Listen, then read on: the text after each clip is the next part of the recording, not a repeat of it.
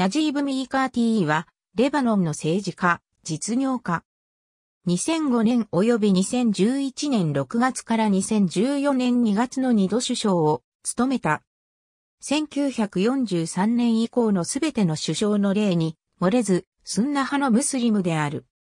ホーブスによる2011年の世界長者番付において409位にランクインしており、その資産は28億ドルであると推定されている。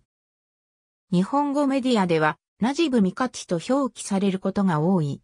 ベールートアメリカン大学で学び経営学修士を取得した。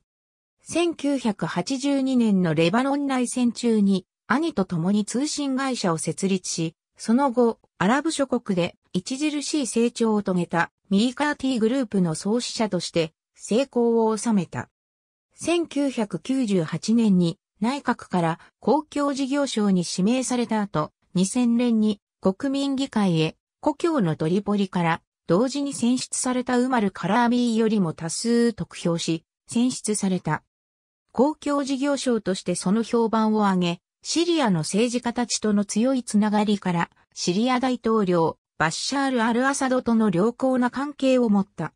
2000年に首相就任の機会があったが、彼は国民の選択はラフィーク・ハリーリーにあったとしてその機会を拒絶した。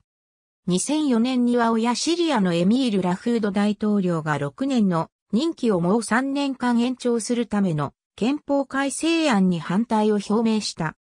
このことは、自らが親シリアであるにもかかわらず、シリアの操り人形ではないことを示した。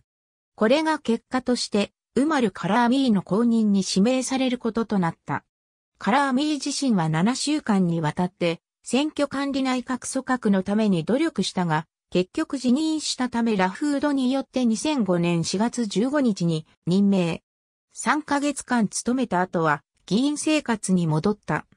2011年1月25日にミシェル・スライマーンより組閣を命じられたが、ヒズボラの後押しを受けているミーカーティーに対して、彼の首相就任に反対するスンニ派の多い地域では、反ヒズボラを掲げるデモが起こった。その後、実際に内閣が組閣されたのは5ヶ月後の6月13日になってからであり、レバノン国民議会によって内閣が承認されて、正式に2度目の首相就任となったのは7月7日のことである。